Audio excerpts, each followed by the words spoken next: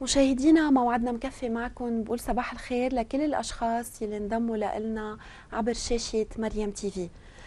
بتنقذ اللقاحات حياة ما بين 2 ل 3 ملايين شخص كل سنة بحيث أنها أداة أساسية لحماية أنفسنا ومجتمعاتنا. ومع ذلك فحصول الطفل على اللقاحات الأولى وأثناء الطفولة لحمايتهم من أمراض خطيرة. وأكيد لأنه صحة الطفل هي خط أحمر. مشان هيك بسرني مشاهدينا استقبل الدكتور إلياس جوزيف الخوري أخصائي بطب الأطفال وحديثي الولادة وأستاذ محاضر بالجامعة اللبنانية. ليحكينا أكثر عن أهمية هالموضوع وخاصة إنه كثار من الأسئلة بيتكرروا بذهن الأهالي. صباح الخير دكتور وأهلا وسهلا فيك بمريم تي في. صباح الخير ريتا. أهلا وسهلا وميرسي. على الاستضافة. وصباح الخير للمشاهدين الكرام. نورت استوديو. آه دكتور بالبداية أكيد نحن قبل ما نفوت بال vaccination نعرف كل شيء عن اللقاح. نحن بنعرف أنه في نوعين من المناعة بالجسم. إذا فيك هيك تخبرنا شوي شو هن المناعة الموجودة بقلب الجسم؟ okay. هلأ المناعة هو جهاز مثل الجهاز الهضمي جهاز الأعصاب. آه مكون أكيد من خلايا مناعية ومن مضادات إنه ايميونوجلوبولين نعم. هلا في أشياء مكتسبة بنكتسبها أكيد آه من أمنا بس تكون حبلة. الجنين بياخذها من أمه. أكيد المدام الأم يعني إذا عاملة لقاحات هي أو معرضة كانت عملت الأمراض تم تمرق له هالمناعة خلال حبل السر أكيد للجنين. هيدي أول شيء وبيخلق معها. هلا هيدي ما بتضاين كثير ست أشهر لتسعة أشهر حسب في أولاد للسنة. وبتروح. بتروح. مشان هيك بنبلش نحن نلقح الأولاد من عمر أكيد بكير. هلأ بنشوف نحكي عنه بعد شوي. نعم. هيدي اللقاح هيدي المناعة المكتسبة. وفي المناعة أكيد الحية هذيك اسمها باسيف immunization هيدي الأكتف. نعم. هلأ المكتسبة أكيد متعرض مثلا لأمراض جديدة أو بناخذ لقاح وبنعمل عليه مناعة. وهودي هول هن اجمالا أنواع المناعة. أكيد لأنه في كتير ناس دكتور بيجهلوا شو هي المناعة ما بيعرفوا. بيعرفوا إنه المناعة إذا واحد جرب أو صار معه شيء بيكتسب مناعة. يعني هيدي المعلومة كتير حلوة إنه في مناعة مكتسبة بتكون لفترة معينة وفي مناعة يلي حضرتك حكيت عنها هلأ. آه، دكتور إذا فينا نعرف المشاهدين شو هو اللقاح أو شو هو ال vaccin؟ okay اللقاح هو كناية عن آه مثل جرثومة إذا بدك. هلأ نعم. أكيد جراثيم معصبين فيروس وبكتيري وبارازيت وهيك. ما رح نفوت بالديتايات نعم. جرثومة أو سموم هالجرثومة يعني أو شقف منها ما ضروري تكون كلها هي. معمولة بطريقة بالمختبر محضرينها بطريقة تتكون يعني أكيد ما تعمل المرض للشخص اللي عم يتلقى هاللقاح. نعم. بس بذات الوقت تحفز système المناعة عندنا أو ال système immunitaire تا إذا تعرض له لاحقا هالطفل أو هالبالغ اللي صار يعني ولد أو كبير آه، تعطيه مناعة يعني يقدر يدافع جسمه عن هالميكروب اللي أخذ منه لقاح. نعم. آه، دكتور في كتير أشخاص بيسألوا وخاصة أمات بتقول إنه اليوم ما بدي أعمل له فاكسان لأبني لأنه ممكن يمرض. عندهم هيدي آه، إذا بدك اليا إنه الفاكسان هو مرض يعني إذا انحروا شوي صغيرة أكيد انمرض. لا أكيد هذا أكيد معتقد يعني كتير غلط. مزبوط. نعم. وفي كتير بنشوف هلأ أكتر شيء بالشتاء يعني ما بدي طعم ابني مثلا بلغي الموعد لأنه مرشح شوي نازلين مناخيره أكيد هالأشياء لأ منا يعني أشياء بتخلينا ما نعمل اللقاح. بالعكس فايدة اللقاح أحسن بكتير بكتير من ما نعمل اللقاح أو نأجله ونأجله ونأجله لأنه ممكن بهالفترة التأجيل يلقط هالطفل المرض شاهوق خانوق كزاز شلل. هلأ بنشوف شو هن. اللقاحات وكيف ال programme أكيد هودي بيأذوا كتير كتير كتير. أكيد. دكتور شو هن الأمراض يلي بتمنعنا إذا أخذنا ال vaccination خاصة عند الأطفال؟ يعني من وقت ما ببلشوا من آه، بس يخلقوا هالولاد أكيد رح نرجع نحكي عن البرنامج تبعهم. ولكن شو هن أكثر الأمراض يلي بس نعمل vaccination لهالولاد بيمتنعوا إنه يلقطوهن؟ أو إذا لقطون بيكونوا لقطون بطريقة كتير آه، خفيفة وما بتأثر كتير على صحة الطفل. أكيد عنا تقريبا بال programme يعني شي 15 أو 16 مرض بنقدر نحمي عليهم. نعم. هلأ مثل ما قلتي حضرتك إنه بنبلش ب new born أول ما يخلق. نعم. يعني أو تاني نهار إذا بده يفل الولد مع أمه من ال pouponnière آه، من قسم الولادة يعني بيعطوه نعم. لقاح صفيرة ب هلأ أكيد في كتير لقاحات بعدين بتتبع. بدك نحكي عن schedule هلا ولا أكيد فينا دكتور فينا نحكي عن ال schedule أو شو هي الرزنامة الوطنية عادة لل vaccination؟ أكيد هيدي الرزنامة موضوعها يعني حاطين الحكمة تبع آه، لج يعني تبع طب الأطفال بلبنان الجمعيه اللبنانية لطب الأطفال أكيد مستوحاة من جمعية طب الأطفال تبع أمريكا وتبع أوروبا نعم. يعني ال AAP والاو اب بي نعم. هودي أكيد يعني بيشوفوا شو أكثر أمراض شيوعا عند الأولاد وشو فينا نحميهم أكثر شيء يعني بهاللقاحات. أول شيء بنبلش مثل ما قلنا أول ما يخلق أو ثاني نهار نعمل له طعم الصفيرة ب ضد نعم. فيروس ال hépatite B. hépatite B أكيد نعم. في معتقد شاسع كتير كبير وخاطئ عند الناس إنه إذا طعمناه ما راح يصفر. هلأ هي الصفيرة اللي بيعملها أول ما يخلق أو ثاني نهار أو ثالث نهار لونه بيصفر بس مش من وراء ال vaccin. نعم. ال vaccin هو لقاح ضد الفيروس تبع ال hépatite B. هيدا أول ما يخلق. إذا ما قدروا يعملوه بالمستشفى. بال hôpital بنقدر نعمله على الزيارة على 10 أيام أو على أسبوعين. نعم. بيرجع على الشهرين في لقاح. هلأ فينا نعملهم كلهم سوا وفينا نقسمهم من الشهرين لسبع شهور. على الشهرين أربعة ستة في لقاح السداسي أو الخماسي يعني بيجي فيه يا خمس أشياء يا ست يا أشياء ست أشياء. أكيد الشهوق الخنوق الكزاز الشلل ال hépatite B وال Haemophilus influenzae B بكتيريا هيدي كمان بتسبب التهابات قوية. وفينا نعمل معه طعم بالتم اللي هو طعم ضد الروتا فيروس. هلأ طعم الروتا فيروس بلش مثلا جديد حديث بالعالم يعني بلش بينعطى بالتم مش ابري okay؟ نعم.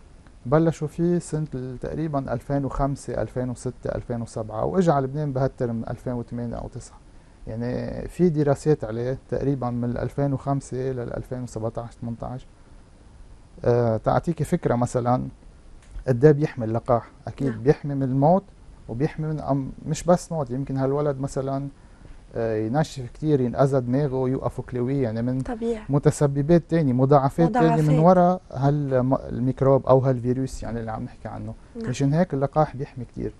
رح أعطيك نسبة بس تقول المشاهدين إنه كان يموت يموت وفاة بالسنة كلها من وراء الروتا فيروس بيعمل إسهال وانتاء ونشفان قوي عند الأولاد. كان يموت حوالي ال 500 ألف طفل بالعالم بالسنة. بعد ما بلشوا يلقحوا وكل تقريبا الدول يعني ومن بيناتهم لبنان نازل كمان لقاح. تقريبا تقريبا يعني نزل ب 15 سنة أو 10 12 سنة الوفيات نزلت من تقريبا 500 ألف لل 125 ألف. يعني بدك تقول الربع. شيء شيء أكيد كثير منيح. كثير منيح. مثل ما قلت بالمقدمة إنه اللقاح بيحمي الطفل أكيد من الموت ومن المرض ومن تشوهات أو مثلا مضاعفات خطيرة. مضاعفات خطيرة من وراء هالميكروب أو البكتيريا اللي ممكن نلقطها نعم. تنكمل ب schedule ال rotavirus في نوعين طعومة بالسوق. واحد بينعطى ببلش تقريبا من ست جمع أو شهرين إذا بدنا نقول. نعم. بينعطى في واحد منهم جرعتين على الشهرين تنقول ثلاث أشهر شهرين أربع أشهر. المهم نكمل ال- اللقح قبل ما يصير عمره ست سبعة شهور. نعم. وتاني فاكسان تاني نوع بينعطى ثلاث جرع. كمان كل جرعة بده يكون في شهر تقريبا بيناتهم. نعم. مع السداسي أو الخماسي إبرة بتجي وفي طعم للمكورات الوراثيه للبنوموكوك بنوموكوك بكتيريا كتير بتأذي عند الأولاد. نعم. بتعمل التهاب أكثر شيء شائع عند الأولاد هو التهاب الدي ان أكيد اخطر منه ال otite واخطر منها بتصير pneumonie التهاب رئه أو التهاب لا سمح الله بالدم أو اخطر اخطر شيء هي التهاب السحايا. أو ال méningite méningite وهيدي. خطرة كثير خطرة كثير بقى إلها لقاح أكيد نعم. من ضد ال pneumocoque نعم. كمان بينعطى على الشهرين وأربع شهور ست شهور أو فينا نعمل له يعني espace شوي نعمل له décalation نزيحه شوي صغيرة تما نشكه شكتين للولد ونعطيه بالتم أكيد بنعطيه مثلا ثلاث شهور خمس شهور سبع شهور وله تذكير على السنة وثلاث شهور نعم. ولقاح السداسي شهرين أربعة ستة وتذكير على السنة ونص هلأ على العشر شهور في طعم الحسبة أبو كعيب حسبة ألمانية. نعم. على طعم على السنة في طعم لجدر المي وبيرجع كمان لهم تذكيرات وفي طعم لل méningite لل méningocoque نعم. غير نوع كمان بكتيريا. بيعمل التهاب سحايا قوي ومرات في بيعمل méningococcémie fulminante يعني بتجي كتير قوية بيروح فيها الولد فيها mortalité كتير عالية يعني risque وفاة كثير كتير عالي كتير عالي. نعم. إلا لقاح أكيد. على السنة تقريبا وتذكير على الخمس سنين. نعم. وبعد منها في صفيرة آه وفي يعني في تيفوئيد في يعني في تقريبا شي كتير. 15 مرض وفي الرزم. نقول sorry الإنفلونزا الموسمية يعني. ضد الجريب يلي هي كل سنة روتين تقريبا يعني روتين اذا شيء أكيد. آه دكتور عادة حضرتك قلت لي إنه من ال new born ببلشوا ال vaccination لأي عمر بيضلوا ياخذوا لقاح الاولاد؟ هلأ هودي اللقاحات تقريبا بتخف المناعة معه ومعه مشان هيك لهم تذكير نعم. يعني مثلا شهوق rappel ات. خنوز كز... شهوق خنوق sorry كزاز والشلل له rappel على الخمس سنين وعلى العشر سنين. نعم. وبصير ثلاثي على ال 15 سنة. يعني تقريبا 15 15 16 16 17 بيكونوا خلصوا كل تقريبا maximum ال vaccination 18 إيه. هلأ نعم. إذا كان بشي domaine ضروري يرجع ياخذ booster أو جرعات إضافية يعني مشان يحفز المناعة حسب نوع problème. شغله أكيد بيرجع في لهم تذكير تقريبا كل 10 سنين. نعم. آه دكتور إذا فيك تخبرنا شوي عن آه أي متى بنقول إنه هيدا الطفل ما لازم ياخذ هلأ لقاح أو فينا نأجل له إياه؟ يعني بأي إيه، حالة؟ بأي حالات مثلا ما فينا نلقح الطفل نعم.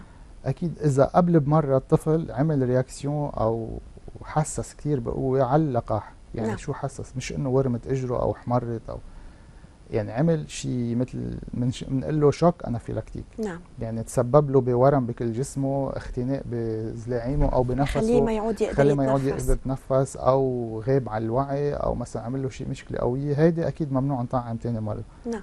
في أشياء الولد بيكون عنده إياها خلقة. يعني نقص مناعه خلقة. خلقين معه دفو بالسيستم المناعه ها أكيد ممنوع نلقحهم نعم. أكيد إذا الطفل عنده حرارة عالية يعني فوق 8 ونص 9 وعنده سخونة يعني ملتهبين زلاعيمه ديناء أكيد هذا ما فينا نلقحه. يعني هودي هن أكثر أكثر الحالات اللي ما فينا نعطي فيهم لقاح للطفل. نعم. هلأ بدي أقول لك شغلة كثير مهمة وخاصة عم نشوفها بلبنان أكيد قبل ما ننهي حديثنا. بنعرف إنه في كثير طعومة مقطوعة. للأسف طفل مثل ما قلنا نحن بالمقدمة الطفل خط أحمر. شو عم تعملوا بهيدا الوضع؟ كيف عم تأمنوا خاصة الفاكسيناسيون الأساسية للولد؟ يعني لازم ياخدها واللي بتأثر على حياته أو ممكن تعطيه آه، مضاعفات كتير خطرة على حياته. كيف عم تأمنون؟ صح. هلأ ال- اللقاحات اللي نقصت أكيد كان في سبب يعني.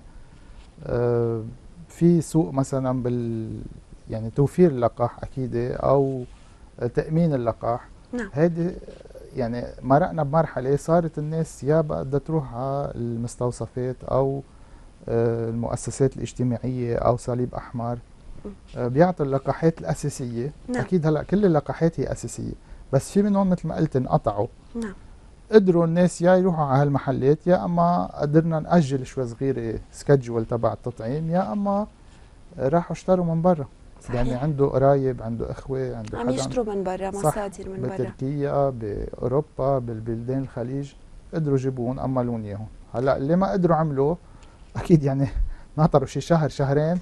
أكيد. تا مشي الحال ورجعت آه، شوي شوي تحلحلت. بس بعدها كمان يعني مش شوي شوي كل الأمور. صح. دكتور الياس قديش في الطفل يأجل شوي اللقاح تبعه؟ يعني مثل ما هيدا الوضع صار ممكن يتأجل يمكن شهرين ولا إذا تأجل أكثر من هالقد بيشكل خطورة على الطفل. هلأ أول شيء إذا كان newborn يعني مثل ما قلنا لقاح على الولاده أو على الجمعتين. بعدين على الشهرين. هلأ بنقدر نأجله شهر شهر, شهر. ونص يعني ثلاث أشهر مثلا ثلاث أشهر ونص بس أكثر نعم. من هيك بصير في risk. بيصير في risk. أكيد إذا لقط شهوق يعني بتاذيه كثير بتأذي. لقط مثلا روتا بعمر صغير تحت ست أشهر بينشف بسرعة بيستفرغ بيسهل بينشف بسرعة. آه، دكتور شو فينا نقول للمشاهدين اللي عم يشوفونا عبر شاشة مريم TV وخاصة للأمات؟ شو هن أكثر الآثار الجانبية اللي ممكن يعملها اللقاح للطفل؟ يعني ال maximum حرارة شو ممكن يصير كمان؟ أكيد مثل ما قلت في آثار جانبية موضوعية يعني محل ما بنشكه الشكة وفي آثار جانبية أكيد systemic بنقلها بكل جسمه. نعم. أول شيء محل الشكه ممكن تحمر شوي تورم شوي آه، توجعه نتفه بس يحركها بصيروا يحسوا الامات مرات إنه مش عم بيستعمل كثير إجره. نعم. لأنه تحت السنتين ثلاثة بنشكهم بفخذهم من قدام. وبس يكبروا شوي بنشكهم بالكتف. أكيد هودي العوارض محل الشكه مثل ما قلت بعدين محل ال- السيستميك يعني العوارض الجانبية الثانية في حرارة مثلا فيها تكون خفيفة أكيد فيها تكون عالية لل 39 نعم. حسب نوع اللقاح. وحسب أي عمر عملناه وأكيد في منهم بينعملوا دغري العوارض الجانبية بعد نهار أو نهارين وفي منهم بيطولوا مثلا منهم بعد جمعة أو 10 أيام ببين كمان حرارة أو طفح جلدي مثل طفح الحسبه تنقول بس نعم. خفيف أكيد بيكون وفي مريض مثلا بقل أكله بصير يستفر شوي زياده أو بالعكس بيعمل إسهال أو وجع بطن تقيؤ بنقول له أو نعم. إسهال هودي وفي مريض بالعكس بيكون مثلا يا بنقنق كتير كتير كتير أو بيغفى كتير كتير. يعني نعم. بيحسوه نايم كل الوقت أو ها نهار أول نهار يعني بعد ما نلقحه ماكسيموم ل 48 ساعة وبيروحوا. آم، آخر سؤال أكيد قبل ما أختم مع حضرتك. أي متى ممكن توصلوا إنه يكون كل اللقاحات بتتم؟ ما توجعوا بقى الأولاد. يا ريت فينا. لا صعب كتير أكيد. صعب. هلأ حسب أكيد شو هي الجرثومة وكيف تنتقل وكيف يا ريت بيخترعوا شيء إيه. هيك عن جد. إنه بيخففوا وجع وبيخففوا. ضغط عليكم مظبوط.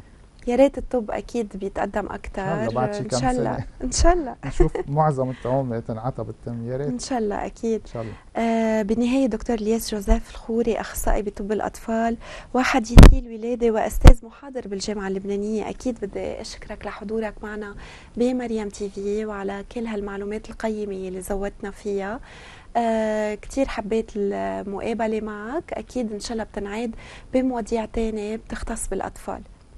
وميرسي وميرسي لكم وميرسي للإذاعة. وإن شاء الله نكون كنا على حسن ظن المشاهدين. أكيد ما في شك. نهارك موفق. أكيد دكتور أهلا وسهلا فيك. ميرسي. مشاهدينا موعدنا مكفي معكم. رح نتوقف مع بريك صغير انطرونا راجعين.